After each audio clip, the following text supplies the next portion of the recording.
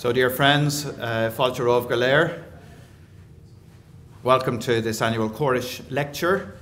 Um, it's been a rather busy day here in the college. We've had a number of events, and Honorary Conferral just uh, uh, finishing uh, next door. So please forgive me as after the greeting, I, I, shall have to return to that duty. But it is wonderful to um, uh, to see um, this uh, very venerable tradition of the Corish lecture by now continuing with the same vibrancy and um, and uh, commitment from uh, from our from our colleagues as uh, as ever.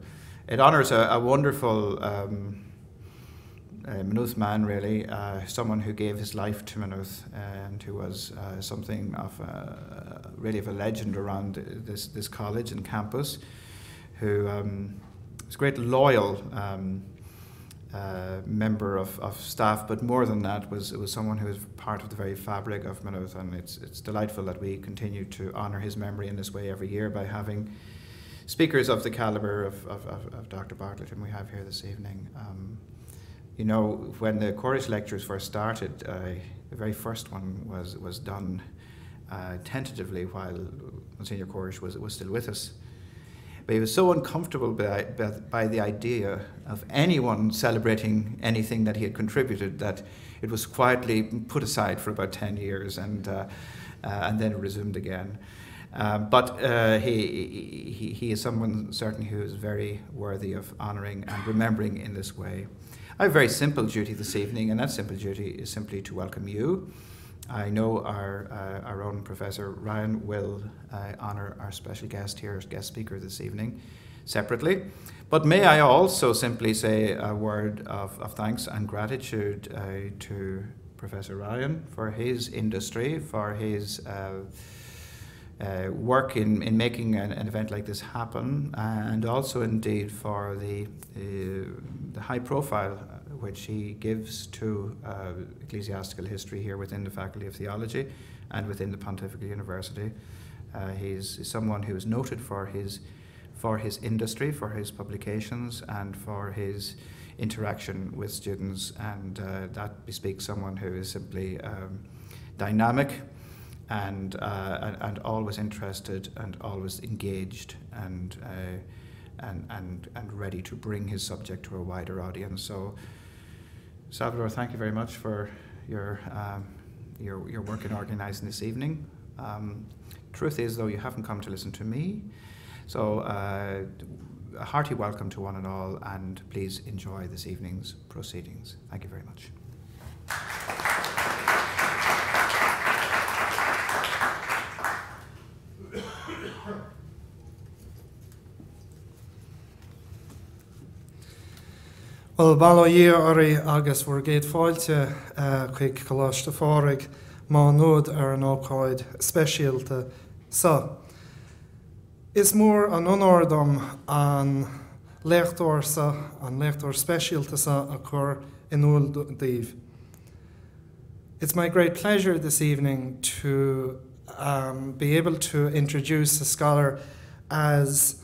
distinguished as Professor Robert Bartlett, and it is a great privilege for us to host him here for the uh, Patrick J. Corish Lecture of 2015.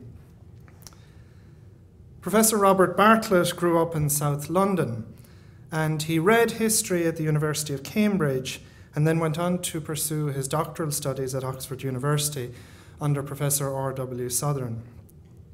He is currently Wardlaw Professor of Medieval History at the University of St Andrews.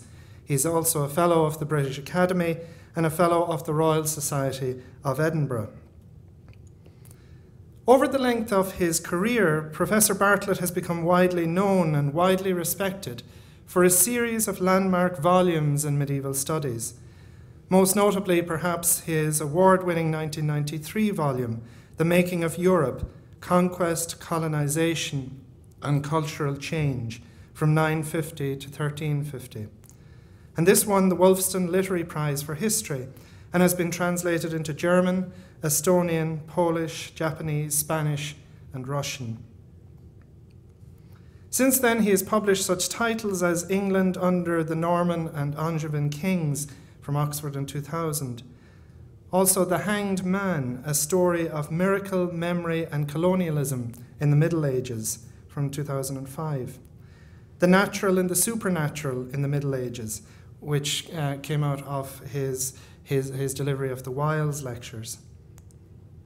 And most recently, Why Can the Dead Do Such Great Things? Saints and Worshippers from the Martyrs to the Reformation, which was published by Princeton University Press in 2013.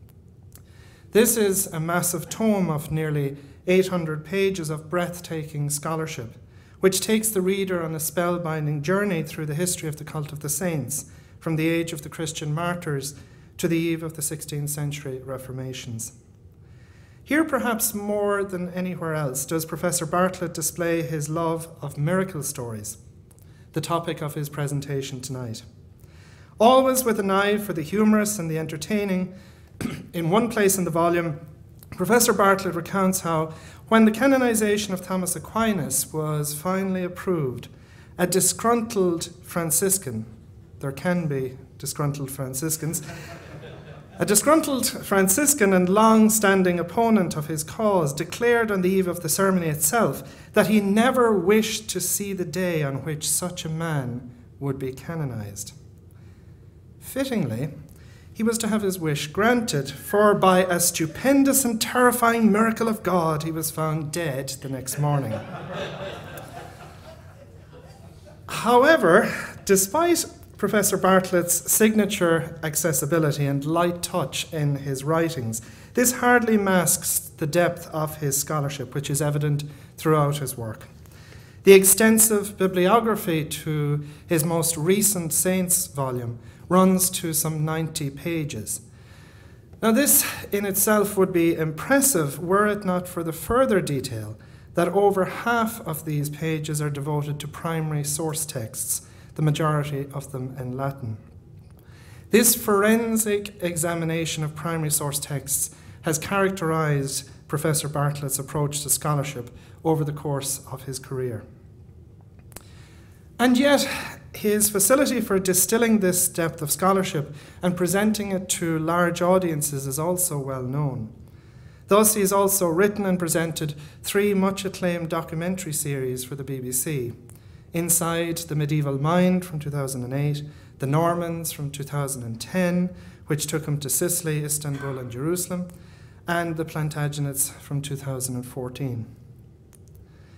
Once, when he was asked whether there's a secret to being engaging and clear for a general TV audience, while at the same time reassuring academic peers that you have not abandoned scholarly gravitas for frivolous celebrity, he quipped, No, I just go for frivolous celebrity. However, uh, I think we all suspect the tongue in cheek nature of that last comment, for I would contend that here what we have is what might be called in scholarly terms the real deal. An individual whose capacity for wide ranging and in depth examination of his period and its sources does not burden either the reader or the viewer, but exhilarates them instead.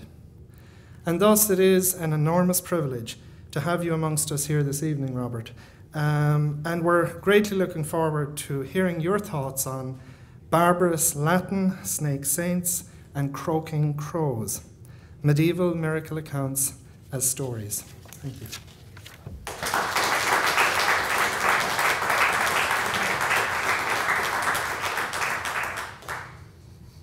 Well, thank you very much indeed. Um, thank you for that uh, very generous introduction uh, and thank you for the invitation. It's, a, it's an honour to be invited to deliver a lecture in this uh, annual series named after Monsignor Corish. Um, as a medievalist, my own historical work uh, obviously concentrates on a period earlier than that that Monsignor Corish studied. Um, but I was enjoying the Irish Catholic experience, his lucid study called the Irish Catholic Experience the other day, when my wife came into the room, and she is um, Irish, American, and Catholic, and looked at what I was reading and said, um, Oh, so you've um, finally decided to try to understand me. I don't know what the chances of that are. Um, but I was told that there might be some Catholics here tonight. I see some coming into the room right now, I think, yes. Um, so I'm not going to spend any time of an introductory nature on the cult of the saints. I'm rather presuming that there'll be perhaps more detailed knowledge in the audience than in the speaker on this occasion. So I'm going to get straight down to my topic, which is uh, miracles. Because among all the varied types of narrative that have come down from the Middle Ages, uh, accounts of miracles are one of the most abundant. Uh, they're found already, of course, in the Gospels and the Acts of the Apostles, uh, and they characterize the earliest hagiography, such as the seminal life of Martin of Tours while the first surviving miracle book, consisting just of a collection of saints' miracles, uh, seems to be that of St. Stephen, composed in the 420s uh, and describing uh, 20 or so miraculous events stimulated by the arrival of the saints' relics in North Africa. Uh, thereafter, the tide of miracle narrative has never stopped flowing. Uh, it was possible for the French historian Pierre André Sigal to base the analysis in his L'Homme et le Miracle of 1985 on 4,756 miracle accounts from 11th and 12th century France alone. Uh, in England, miracle stories were composed in the 8th century, then after a hiatus, again in the 10th century, and subsequently. Uh, the miracles of William of Norwich, which I'll be mentioning later as well, uh, collected by the monk Thomas of Monmouth, in the period 1150 to 72 numbered well over 100, the largest in, uh, English collection to that date, uh, but were quickly outstripped by collections of the miracles of Cuthbert and then Becket, whose two enormous compilations of the 1170s, numbering well over 600 miracles, have been called the most specular productions in the history of English miracle collecting. After the intrusion of papal canonization into the story, miracles collected for that purpose are also numerous. Uh, André Vauchet uh, used a sample of 1,800 of them for his magnificent study, uh, La Sainteté en Occident. The typical miracle account is a short narrative, often of a stereotyped nature. Uh, that is one reason these accounts are so suited to statistical analysis, such as Sigal's.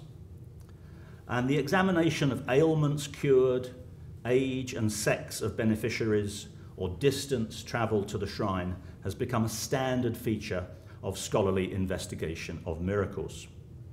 This all helps create a picture of the social realities of the medieval cult of the saints. But there are other approaches, uh, and one that is particularly rich is to start with the fact that these miracle accounts are narratives and to study them as such.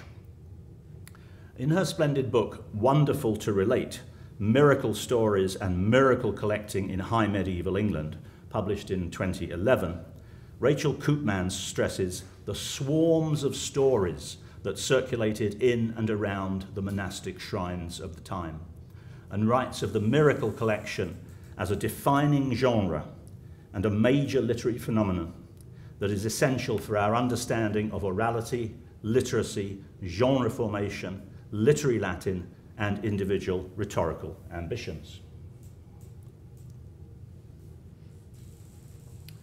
The indispensable task for a miracle account is to construe a sequence of events as a miracle.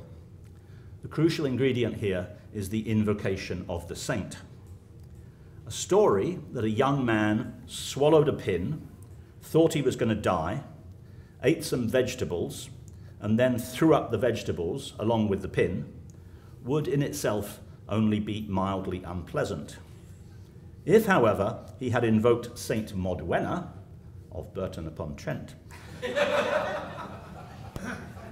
when he felt ill, then the event would be classifiable as a miracle. The structure of the narrative itself creates the interpretation, which can then be strengthened further by rhetorical amplifications such as apostrophe to the saint or a doxology. But given that this is the minimal requirement, how else can we analyse these accounts? Starting from the point that miracle accounts were stories worked into shape by writers well versed in the conventions of narrative, what can guide our own analysis? Uh, tonight, I will try out three approaches. The first suggests one possible general contrast that can be used to characterize the nature of miraculous narratives. The second looks at the building blocks of such accounts, narrative motifs, with a close examination of one such motif. And the third, with which I conclude, is a, a, a, case study of a particular story. So those are my three elements the contrast, the analysis of motifs, and a particular case study. To begin with the general contrast, um, Aviad Kleinberg, the very distinguished Israeli historian of, of hagiography, wrote that every hagiographic work is an exercise in persuasion. Uh, and that is a perception that is generally and deeply true. Even the presence in a hagiographic text of doubters and critics, including sometimes beneficiaries, such as heads of monastic institutions, is intended ultimately to buttress confidence amongst the audience, as these doubters and critics are either silenced or satisfied. Uh, Richard, prior of Much Wenlock in the early 12th century, was, we are told, unwilling to accept miracle stories easily. But after inquiring into a miraculous cure performed by Saint Milburga, who was enshrined in his own church, he rejoiced, elated at this new and unusual miracle. His doubts have been put in there simply to reinforce the ultimate vindication of the miraculous reality. But while all such writing was intended to demonstrate the sanctity of a man or woman, the meaning of that word demonstrate is not always exactly the same, having stronger and weaker implications. I will distinguish the weaker, more generally persuasive sense, calling that the literary approach, from the approach that sought to show that someone was a saint by more formal rules, calling that the forensic. I'm happy to consider other labels, but tonight I will use literary and forensic as my polarity. Hagiographers were always literate, of course, and often literary and learned. They wrote the same kind of prefaces as other writers with the same rhetorical commonplaces, the modesty topos, the plea that they are writing only at the request of their fellows or at the command of their superiors, the invitation to correct their errors, the assertion that they write only truth. These are the commonplaces of, of medieval rhetoric. They were sometimes masters, or much more rarely mistresses, of elaborate Latin style. If they were revising or recasting an earlier piece of hagiographic writing, they might well strike a self satisfied note. Uh, even the shy and retiring Gerald of Wales trumpeted the superiority of his version of the life of St. David over what he calls the old and now virtually outdated version. In this work, the reader will find superfluities cut back, defects supplied, and clumsy phrases rewritten. These writers knew that they were aiming to produce top quality works of letters. But sometimes this concept of literary achievement might sit uneasily with other purposes of writings about the, writing about the saints and their miracles, other conceptions of what the form of a miracle account should be especially those that had a strong sense of what constituted proof. A small but very revealing example of the tension between the literary and the forensic conception concerns the matter of witnesses to miracles. Latin writers who saw themselves in a classical tradition might blanch at the inclusion of vernacular names, uh, especially Germanic ones. This self denying ordinance could be applied to the names of those involved in miracles. Thus, when Theofrid, abbot of Echternach, wrote his verse life of St. Willibrord around 1100, uh, not only did he have to call the saint Wilbrord to make the scansion easier, but also, when mentioning the saint's punishments, or those who usurped churches' lands, he refused to commit to writing so many barbarous names. His contemporary, Osbern of Canterbury, omits the names of informants in his Life of St. Alphege, also because of their barbarousness. I consciously refrain from giving their names, since I am unwilling to discolour the very beginning of my discourse with barbarous appellations. Likewise, William of Malmesbury, in his Latin translation of Colman's Old English Life of St. Wulfstan, addressed to the monks of Worcester, admits Brethren, I have not concealed from you that I have suppressed almost all the names of the witnesses, lest, their barbar- lest the barbarity of their names should wound the ears of the fastidious reader. Examples could be multiplied. Latin writers with pretensions could and did choose to omit the names of witnesses to miracles on the grounds of their uncouthness. Yet such an omission could be hazardous if one encountered a more demanding canon of proof. Such awkward tension between two different ways of dealing with the testimony in miracle accounts is revealed in the work of the Cistercian Walter Daniel. Uh, Walter composed a life of Aelred, Abbot of Rievaulx, soon after Aelred's death in 1167, including in it, as might be expected, the accounts of several in vita miracles performed by Aelred during his life, mainly cures. But very soon after he sent his composition into the world, he found he was challenged and had to defend the way he had undertaken it. Two unnamed prelates doubted Aelred's miracles, and as a consequence, Walter was asked to give the names of witnesses to those miracles, which he had not done in the life. In the short but highly informative text that he wrote in response, known as the Letter to Maurice, he did so, giving those names, though hardly with a good grace. Scarcely any hagiographer, he claims, gives the names of his sources. And it might surely have been enough, he laments, that he had said in the life that he had reported only what he had seen or what others had seen and told him about. Anyway, he adds, echoing a common trope, virtue is more important than the power to perform miracles.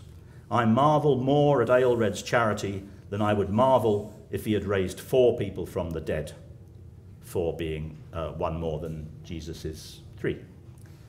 Uh, but his critics are satisfied only with proofs in words publicly proclaimed and Walter duly lists the names of those who witnessed Aelred's miracles, dutifully going through them in the order in which they occur in the life.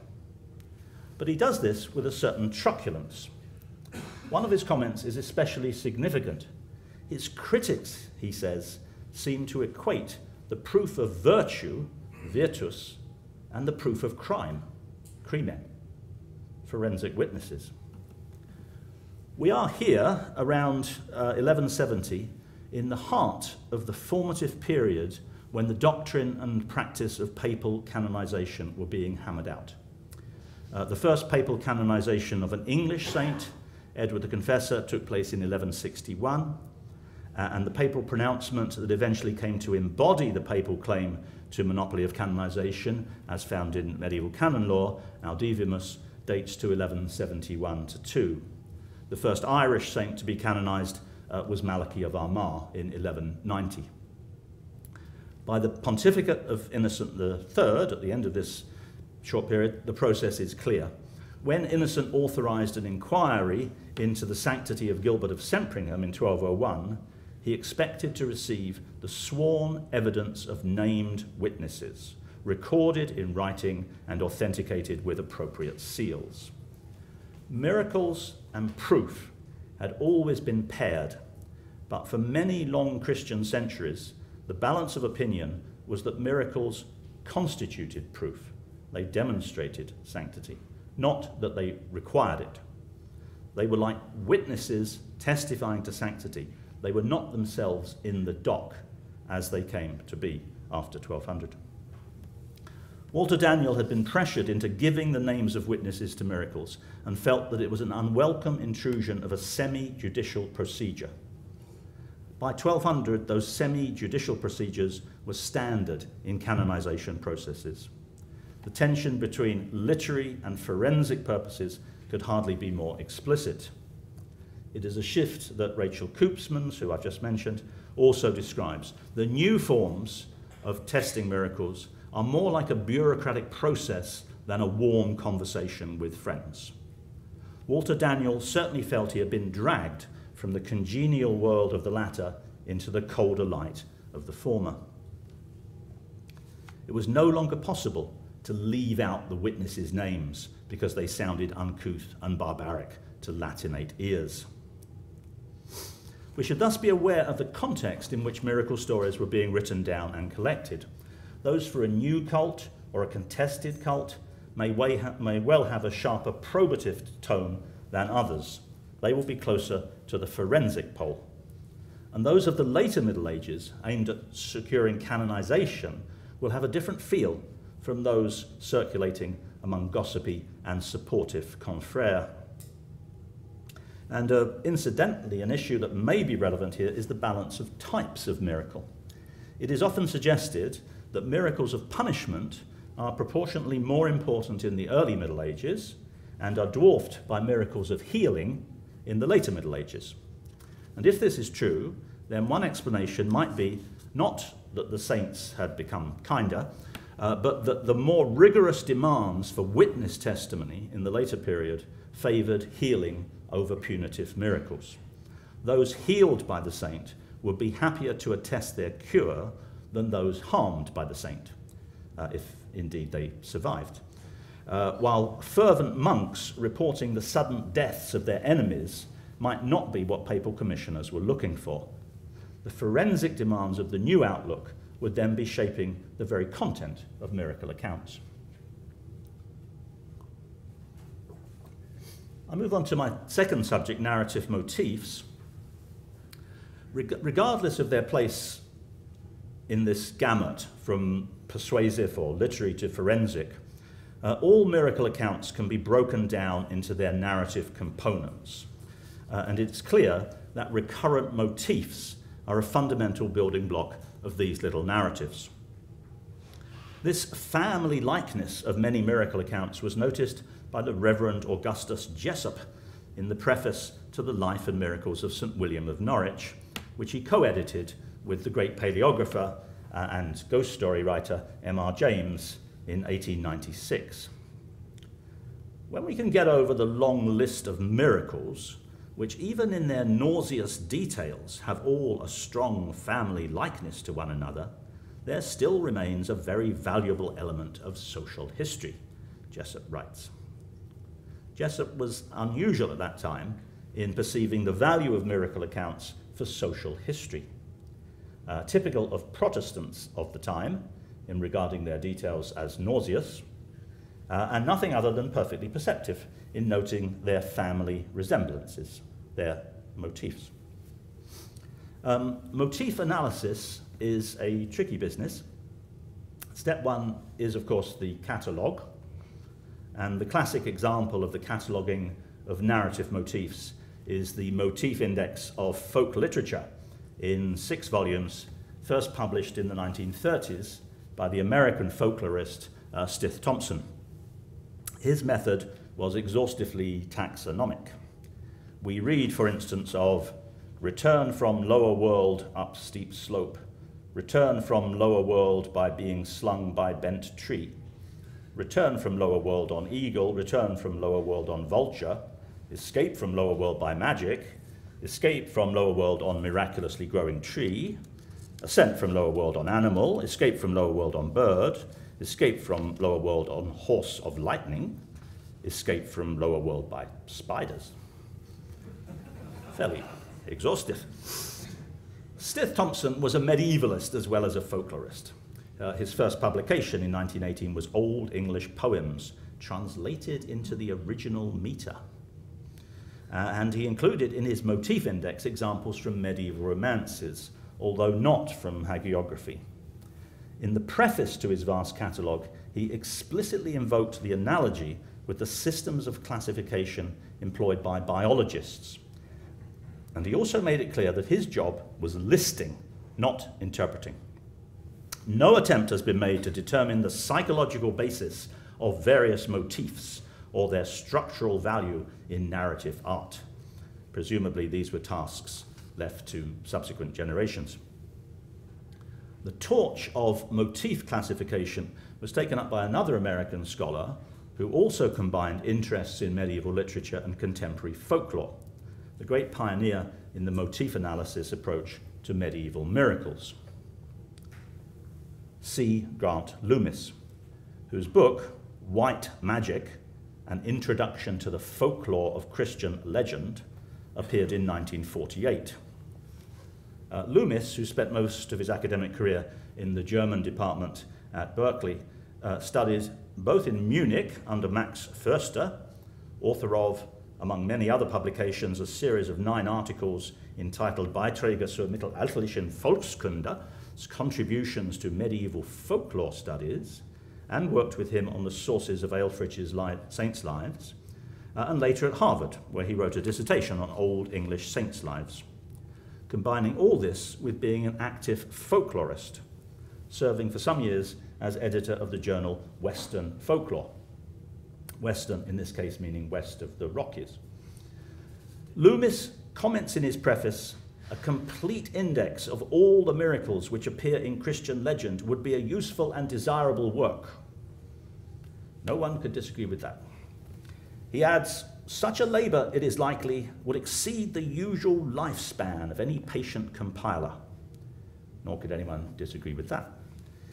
But his industry still commands respect. What he did do was work his way through the great collections, such as the Acta Sanctorum and Migne's, Patro- Migne's Patrologia, and also a sampling of both medieval collections, such as Gregory of Tours hagiography, and modern compilations, Plummer for Ireland, Rees's Cambro British Saints, for example, noticing recurrent narrative motifs, although excluding for comprehensible reasons the, the mere description of a miraculous cure.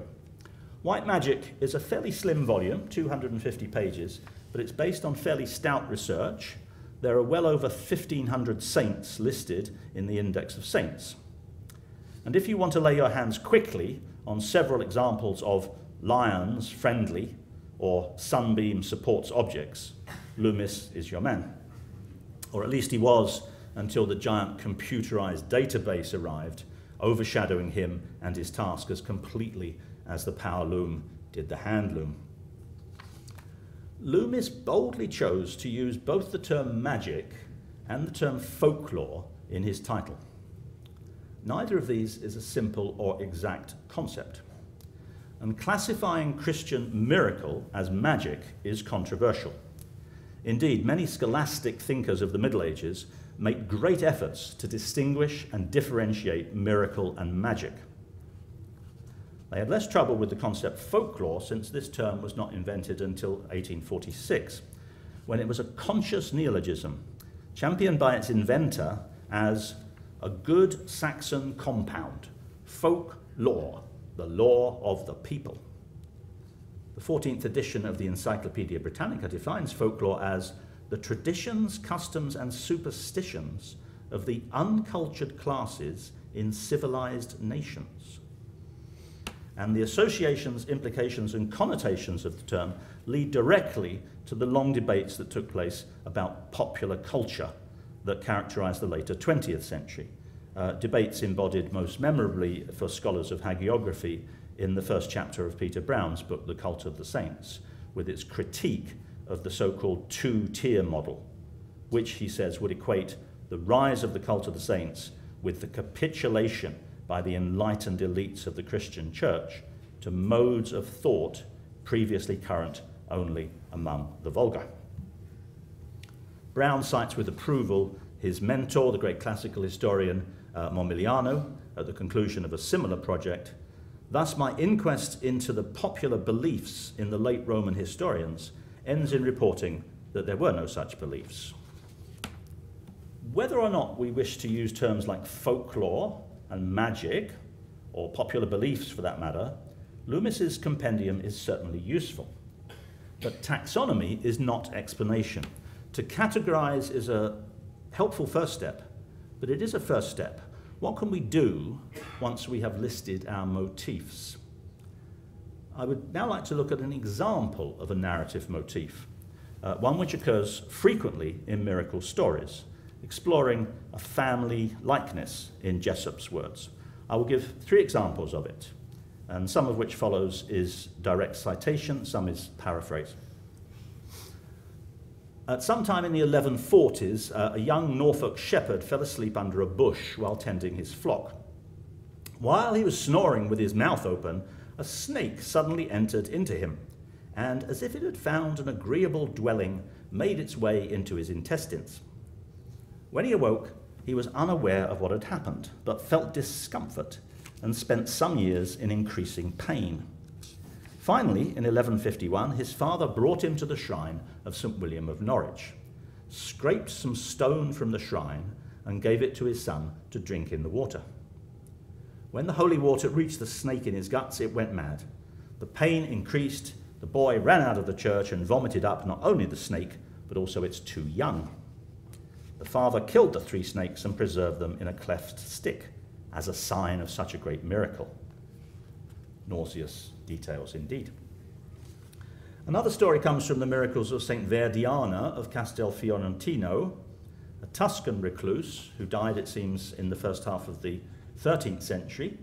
The miracle story seems to be 14th century. A certain gardener of Florence, tired by his long labour, lay down under a tree and went to sleep with his mouth open. A snake crept into his mouth. He felt there was something that was disturbing his intestines and woke up. He cried out terribly, especially after his body began to swell up. The various remedies suggested by doctors were in vain. At length, as many people suggested, he invoked St. Verdiana, imploring her help in his need. After many vows and prayers, he was carried to the church of St. Verdiana and placed before her altar. As he entered the church, he immediately refrained from calling out and from the uncouth expression of his pain, and when he stood by the saint's altar, he bent down, opened his mouth, and the snake rushed out, splattered with bloody matter. Health returned to the man. The third example is different in that it concerns an in vita miracle, a life, a miracle in the saint's lifetime.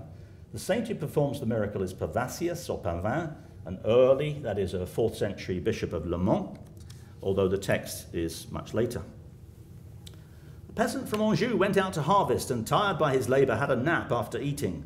While he slept with his mouth open, a snake entered through his mouth into his belly. When he awoke, he did not at first know he had a snake in his belly, but nevertheless felt a terrible bellyache. That night, as he slept in his bed, the snake began to move about and cause him great pain. His cries brought his neighbours, who sent for doctors, but they could do him no good. They, they, uh, they never do in uh, miracle stories. Um, he, he began to frequent churches to seek healing, and one night in a dream was told to go to St. Pavasius, Bishop of Le Mans. Pavasius understood the nature of his ailment, touched his belly, made the sign of the cross, and put his finger in the man's mouth. He at once vomited up the snake. These are only three examples of dozens one could cite. Loomis alone in White Magic has 18 indexed under snake swallowed. What can we deduce from these stories? Um, first of all, of course, the danger of sleeping outdoors with your mouth open. but um, beyond that salutary lesson, there are forking paths. Uh, one could be called realist, the other literary. They're not mutually exclusive, but take different starting points. The realist assumption is that there are numerous narratives of this kind because the situation they describe often happened.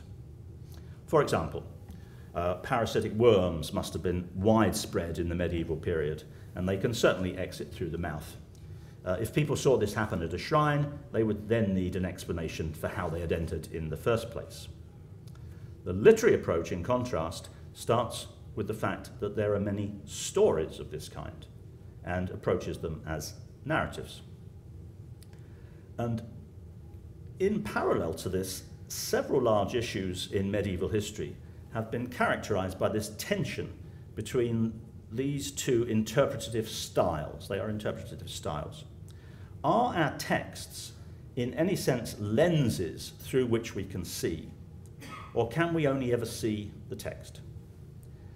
For example, is the indigenous European paganism of the early Middle Ages a lived world view, or largely a textual construct embodied in stereotyped Christian writings that give us only, uh, in the words of James Palmer, who's written on this, elaborate imaginings of paganism? Is the heresy of the High Middle Ages virtually an alternative religion of dissent and opposition? Or is it, in the view expressed by R.I. Moore, contrived from the resources of the well stocked imaginations of churchmen? The, and the arresting similarity of those two formulations underlines the problem, which is the degree of self referentiality of the texts. Is all that the texts reveal the imaginings of their authors? This may be one reason why the study of the rewriting of hagiography, uh, a scholarly method that Monique Goullet in particular has developed over the past decade or so, has proved attractive. Rewriting is a pure experimental environment for the literary approach. Changes from one version to another of a text highlight what the second author wanted to do. The omissions, rewordings, and additions are clearly purposeful. So, when studying hagiography, it's often difficult to decide the relative weight of literary model and recurrent social situation.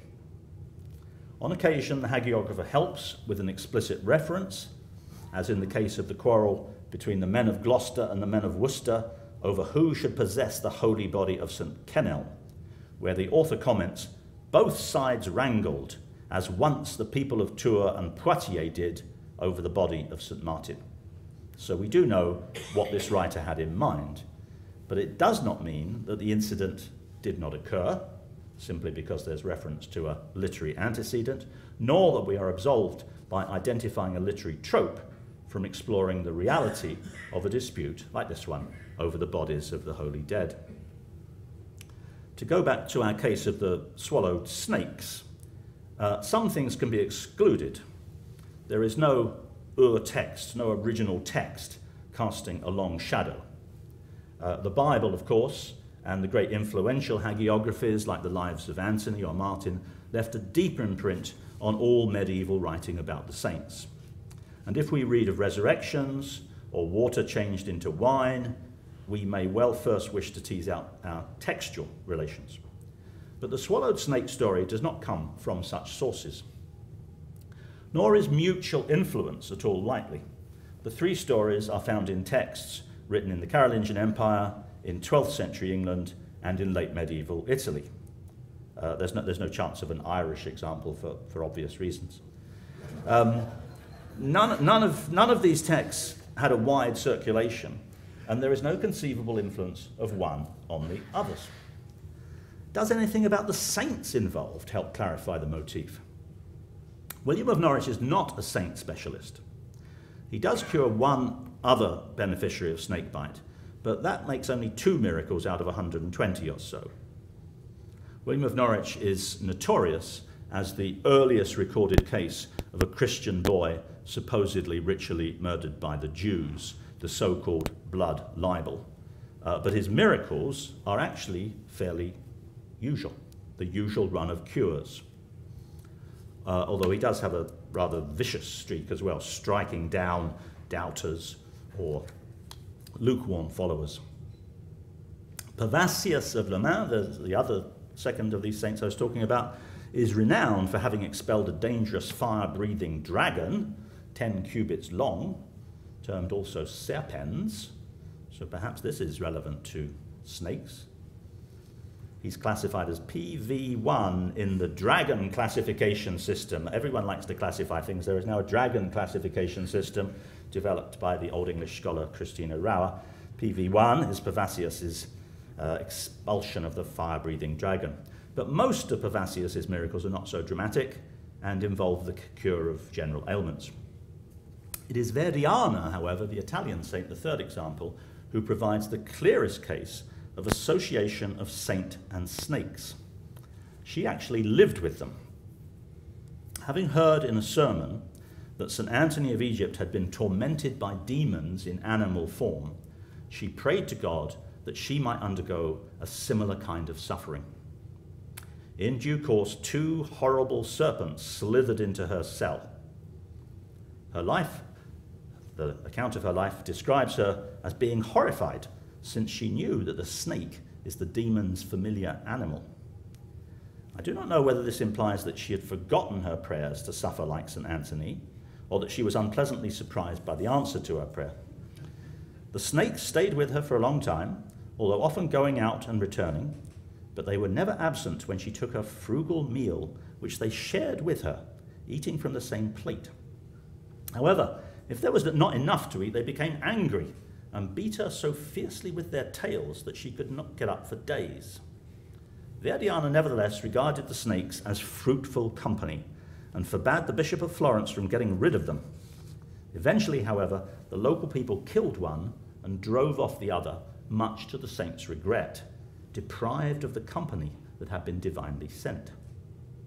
It is thus not surprising that in her late medieval iconography, St. Verdiana is represented with snakes, as on a 14th century embroidered textile, now in the Victoria and Albert Museum. A painting by Giovanni dal Ponte from around 1420 depicts her standing, dressed in a nun's habit, holding a snake in each hand.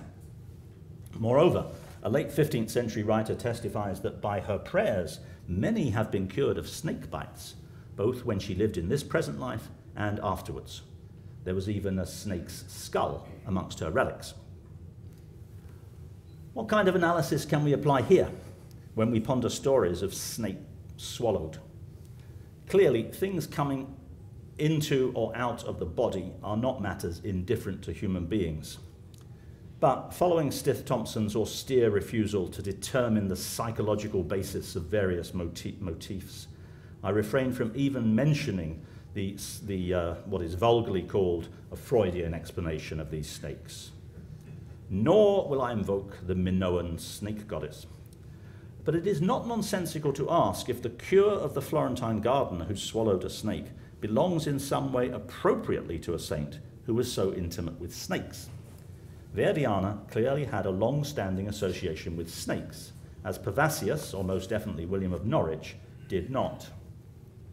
And this is where the fact that the expulsion of swallowed snakes is such a frequent motif in miracle accounts is important. It warns us against premature overinterpretation of a case like this. The expulsion of swallowed snakes is a common motif. Some of the saints who perform the miraculous expulsion have a snake association, and some do not. This is the pattern we're trying to explain. It is not as if motif analysis provided a master key.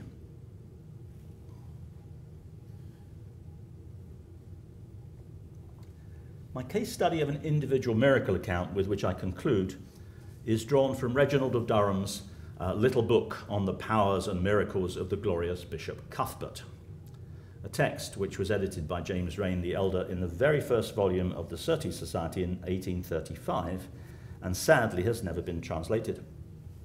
More happily, Reginald's own autograph manuscript survives, still in Durham, where it was written. Uh, it's a small book, less than six inches high and just over four inches wide, uh, 15 by 10.7 centimeters, if there are any French people in the audience um, consisting of 166 folios. It must have been composed over several years, since it's dedicated to Aelred of Rievaulx, who died in 1167, as I mentioned earlier, while its final pages describe events during the Scots invasions of 1173 to 4. The book is a collection of 129 miracle stories, some of them dating back to early, earlier centuries, but the majority from Reginald's own lifetime. The average length of these tales is 700 words, so the longer of them have a real chance to develop narrative momentum and variety. I will look at one in detail. Reginald's characteristic form is to open a chapter with some general elevated comments about his saintly patron, Cuthbert, before getting down to business. The story I have selected, which is chapter 68 of this work, begins in just this way. St. Cuthbert shines forth with the scent of the brightest incense, which glows on the outside, but while it is burned up with flames, is shown as good by its sweet vapours. His brightness gleams with justice, his sweet smell shines forth in the minds of hearers through his works of virtue. Reginald continues for a while with this ambitious and indeed paradoxical mingling of visual and olfactory imagery. Cuthbert is both the fire of love and the fragrance of eternal sweetness. Before reaching a narrative marker uh, that could be read in such a way as to sound pathetic, there is a village in Cheshire. But the concreteness of the detail is a consistent feature of Reginald's narratives. The grandiose introits are not undercut by the everyday elements that follow, but are buttressed and illustrated by them. So, we are told the name of the village. It is Leighton in the Wirral near Liverpool. Uh, given a brief account of its location, and then informed that it has a little church dedicated to St. Cuthbert. The marshalling of miracle stories from many subsidiary centres of Cuthbert's cult is a feature of Reginald's collection, supporting his assertion that Cuthbert's power could be felt everywhere, not just at his shrine, his main shrine at Durham. Uh, and this miracle is, in fact, the first of a group of five reported from the region of the Wirral. This particular miracle centres on the church itself, a humble little building, according to Reginald, built of rough wattles and situated in remote woodland, rarely visited by the locals who had no particular devotion to St. Cuthbert. This was all about to change. Not long afterwards, the venerable confessor, Cuthbert, announced to all of what great merit he was. He who until then had seemed almost unknown to the inhabitants and of no honour among them. This builds up a little suspense. Something's going to happen, even if the drift will come as no particular surprise in a book entitled The Miraculous Deeds of St. Cuthbert. Um, then we switch to straightforward narrative. It happened that a crow built a nest in the roof of the church, as it did each year. The crow has young, and their croaking, vox stridula, I translate as croaking, uh, bothers the locals. An ill mannered young man then climbs up onto the roof to get rid of the crows, making holes in the rotting wood of the structure as he does so. But he doesn't care. Switching to direct speech, Reginald gives us the young man's blasphemous words to the birds. Cuthbert's roof won't be any protection for you, and his church will be no help for you against me. Such disrespect for a saint's name has inevitable consequences. While the young man reached towards the nest with one hand, and with the other grasped one of the wooden pegs that held the wattle in place, suddenly the whole section came crashing down bringing him with it half dead. The wooden peg he was holding adheres to his hand and cannot be released. Reginald gives a detailed description of the state of the hand, introduced by a direct address, a direct address to the reader or hearer. Videres, you would see. Uh, doctors, of course, are useless, but eventually advised by his friends, the suffering young man has himself carried into Cuthbert's church, where he spends three days, how many miracles require three days, uh, penitently begging Cuthbert's forgiveness.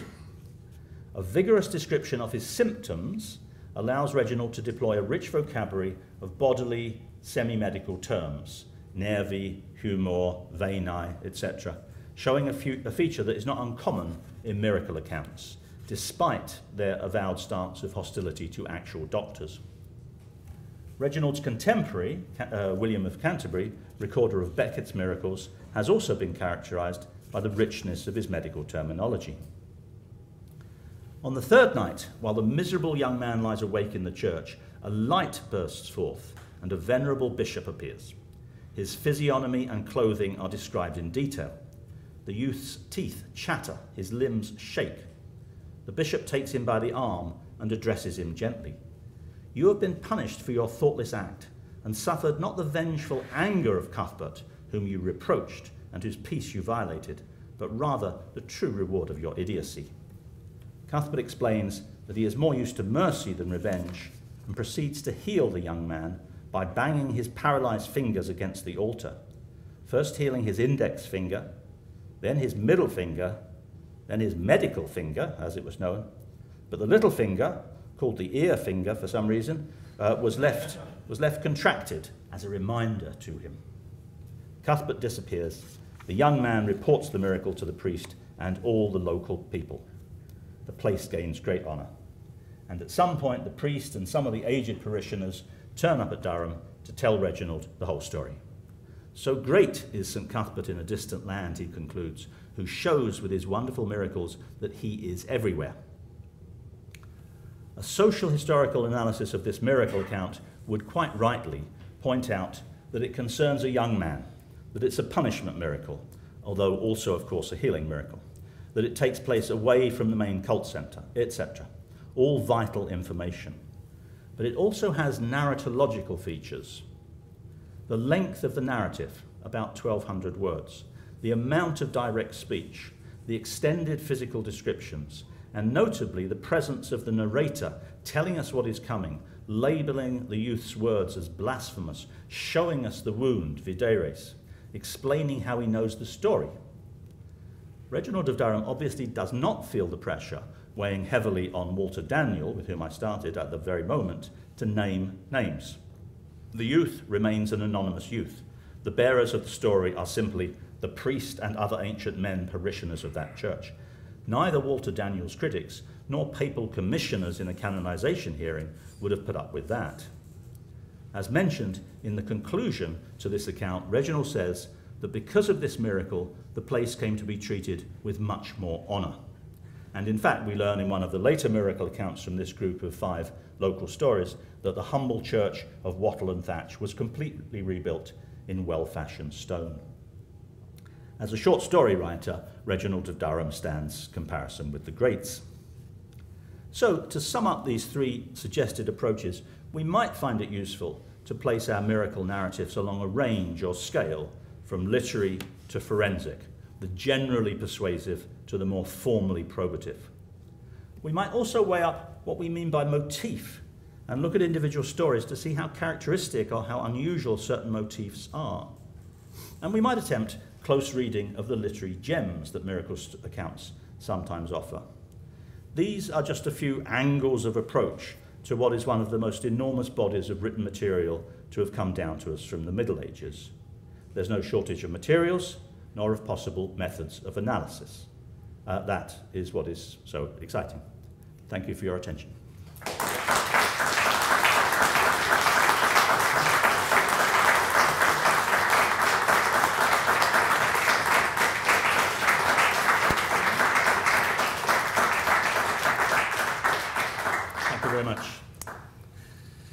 Uh, thank you very much, uh, Professor Bartlett, for, for a really fascinating lecture uh, in which I don't think I've ever seen hagiography and herpetology rhyme so well in, uh, in, in, in, one presentation. Um, so now it comes to the opportunity for questions uh, or comments, and I will invite Professor Bartlett back to the microphone here, and I might maybe take centre there to, to actually take any questions. If you just raise your hand if you have any questions or comments uh, for Professor Bartlett. Thank you very much.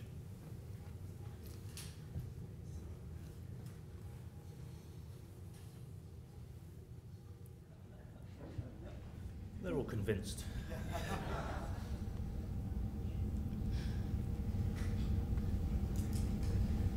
Thank you very much indeed. That was a most uh, wonderful talk. I was just wondering, um, I'm, I'm, sure you, you, you would know you would know this. Are there kind of regional patterns or you know marked changes across countries in these types of stories? Yes, I, I think there are regional patterns in several senses.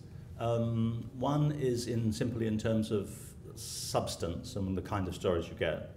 Um, Spain, for example, has a whole genre of saints who are um, saving people who have been captured by Muslims. So, so you have a Christian Muslim frontier and you have the saints specializing in that kind of activity.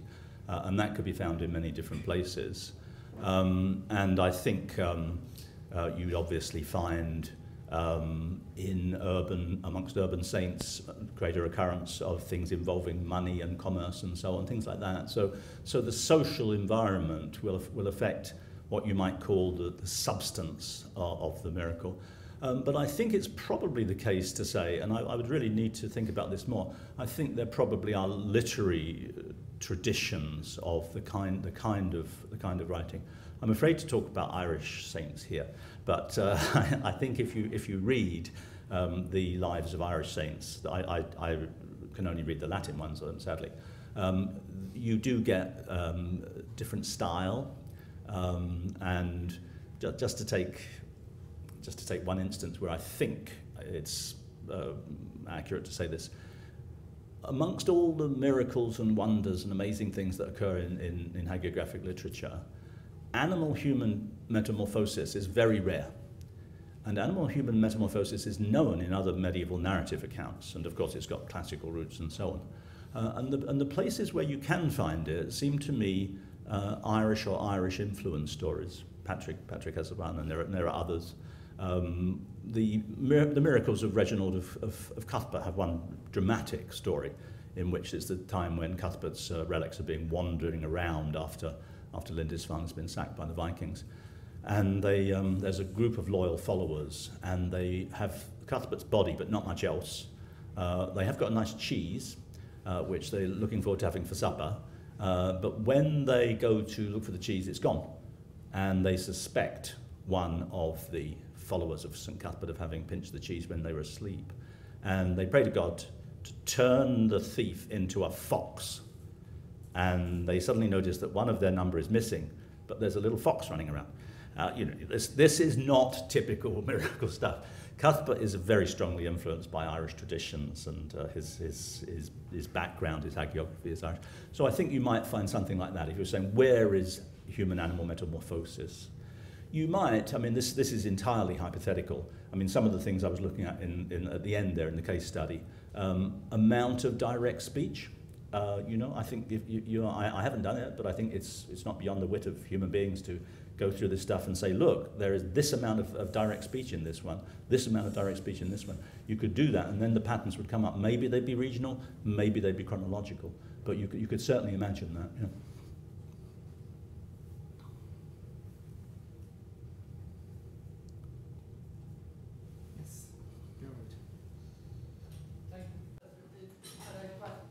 Development of papal canonization influenced greatly the genre of miracle reportage?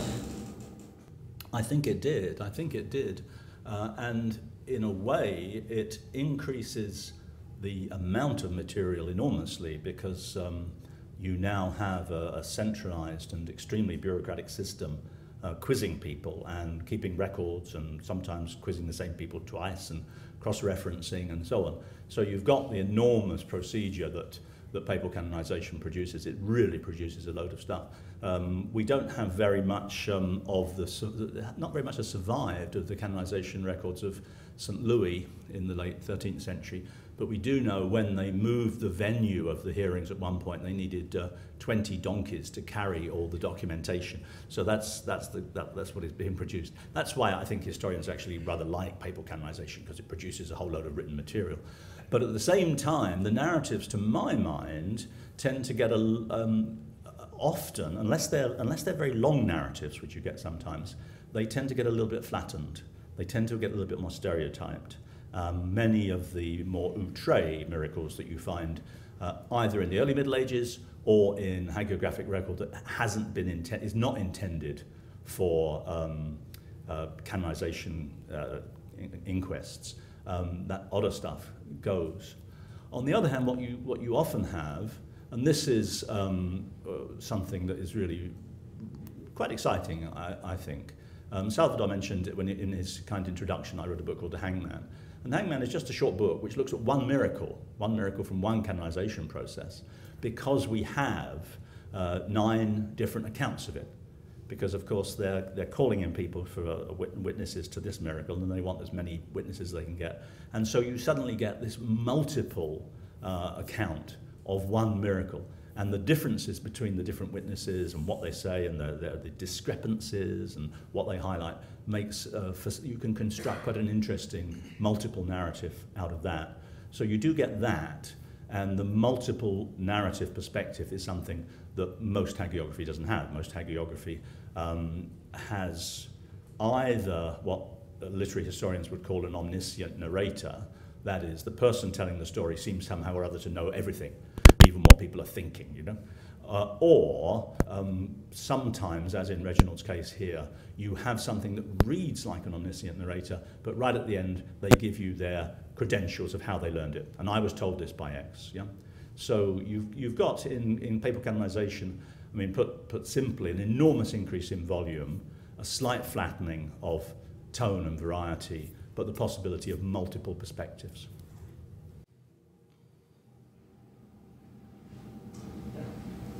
Is there, is there much documentation pertaining to the disapproval um, process in papal canonizations? Has any study been undertaken how that reflects back?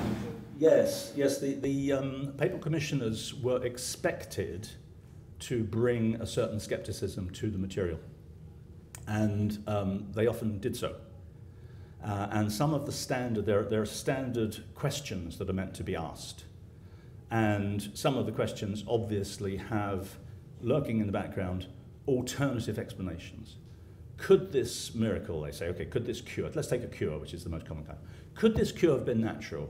Could it have been done by invocation of uh, occult, purpose, occult qualities of stones? Were doctors involved? Yeah? So they'll go through, and the attempt is very much to sort of exclude all the alternative possibilities uh, of it being miraculous. And then there are certain things that are quite interestingly borderline. I, I mentioned the, the need that people had to distinguish miracle and magic. And one of the one scholastic definition of, of miracle, a proper miracle, was that it was something that wasn't done just by the force of the words. So obviously the category of something like an efficacious charm, an efficacious verbal charm, was present in people's minds, and that didn't count as a miracle. And that's one of the things they're trying to exclude. So they have this, and then they, they, they just have sometimes a kind of quizzing, sort of uh, cross-examining kind of approach. Uh, and because of what everything is written down, they can often go back to something that was written a month before. And they'll say, oh, well, on this, on this occasion it was said that X, and so on and so forth. Even tiny little things like, you know, someone in, in this, and I was looking at the, um, the hangman, that's based on the canonization process of Thomas of Cantilupe, who was Bishop of Hereford. And at one point, someone says, and then I invoked um, a saint, and a, a, bright figure appeared and said, I am St. Thomas. And the, the commissioners say, Well, how did you know which St. Thomas is? Isn't there Thomas Apostle, isn't there? There's Thomas Becket, Thomas the Martyr. So how do you know there was this Thomas? So the, these kind of, they're meant to be there not to encourage the uh, witnesses uh, without any reservations, but to quiz them. And that's, that's what they do.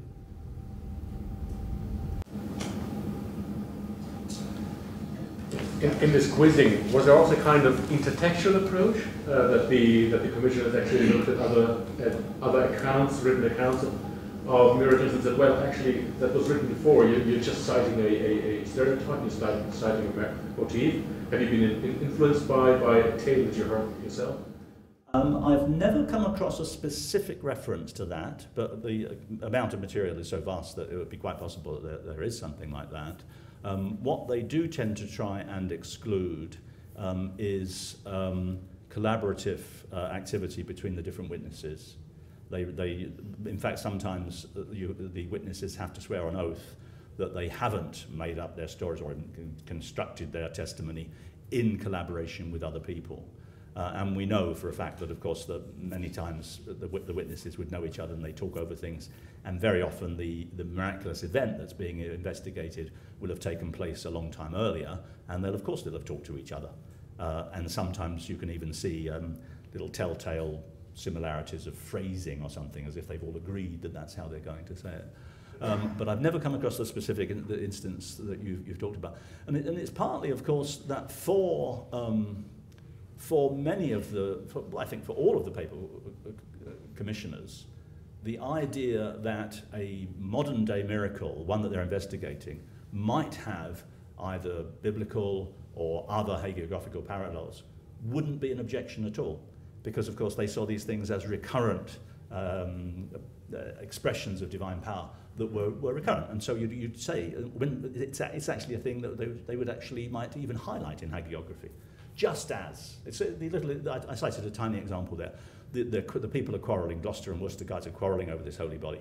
And the hagiographer says, just as the people of Tours and Poitiers quarrelled over St. Martin. It doesn't invalidate this. in a way, it's because you're saying that miracle is a recurrent and uh, you, you embrace the stereotype in a way. You say, yes, that's, that's quite right.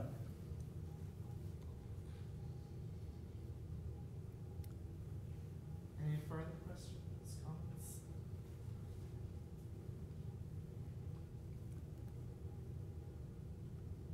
Time for a drink, I shall think we? it is indeed, yeah, absolutely. Um, so it just remains for me to um, to offer a, a final word of thanks to our guest lecturer this evening uh, for what was really a fascinating and very engaging lecture. Uh, Robert, thank you so much for for agreeing to come to Maynooth and for gracing us with with your presence and with your scholarship.